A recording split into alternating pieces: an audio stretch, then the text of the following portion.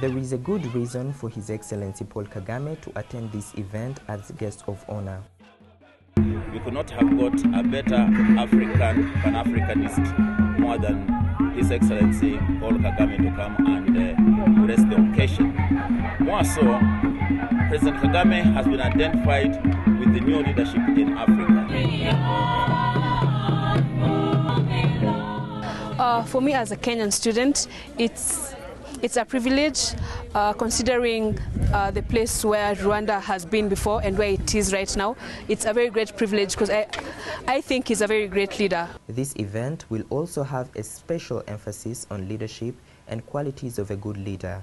The United States International University is among the oldest private secular universities in East Africa. Today, the university has a total student population of about 4,700 students with 53 nationalities represented. There are 54 Rwandans that have enrolled at USIU over the last five years, and the current enrollment of Rwandan students is 31.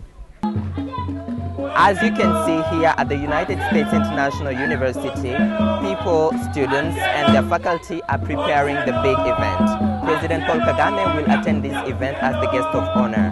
Emmanuel Munyarukumbuzi, Rwanda Television, Nairobi, Kenya.